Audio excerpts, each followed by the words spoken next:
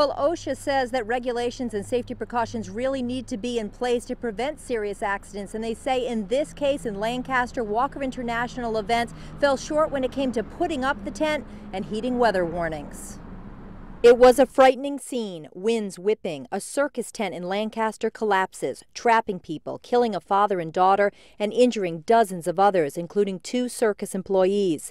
Now, five months later, the U.S. Department of Labor's Occupational Safety and Health Administration has completed its investigation and found that the tent was not put up properly or secured during the bad weather. It was not properly staked. Uh, the stakes were not of the right size, design.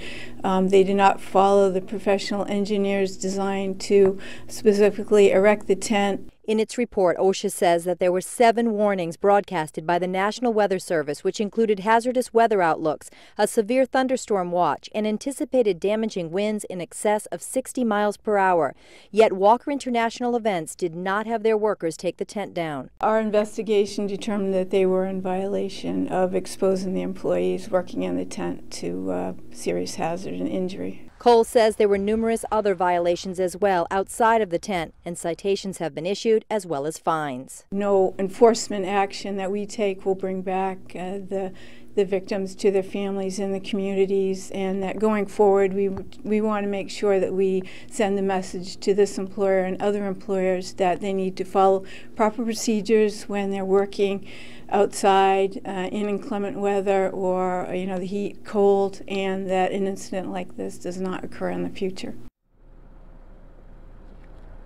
Now, we did try to contact Walker International Events, which is based out of Florida. However, we were unable to reach them. But OSHA says that they will be meeting with the company on Wednesday to discuss this matter further. Reporting live in Concord, Heather Hamill, WMUR News 9.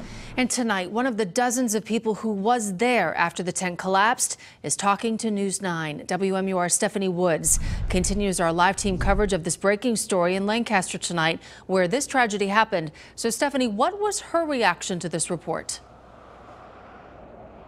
Well, she was very surprised. Joanne Whiting says that the community is still recovering after last August a tent collapse right here on the Lancaster Fairgrounds. She says after she hears about OSHA's report that the tent collapse could have been prevented, she says it's little comfort. Now, Whiting was at home on August 3rd when her husband, the deputy chief of Lancaster Fire Department, got a call that a tent had collapsed at the circus. She and her daughter followed him to the fairgrounds and helped search for injured people and pulled them from the tent. Whiting says she had hoped that the tent collapse was just a freak accident. It makes me pretty sad. It, ma it makes me sad because I was really hoping that wasn't what they were going to find. Um, I think that, you know, some of these people think it will help them, but I don't. I don't really see that. I mean, it's, it makes me sad that this wasn't set up properly and these people were put in danger. Whiting says that the day of the tent collapse was chaotic and it seemed like a scene out of a movie and not something that she would expect from her small mountain town. Live here in Lancaster, Stephanie Woods, WMUR News 9.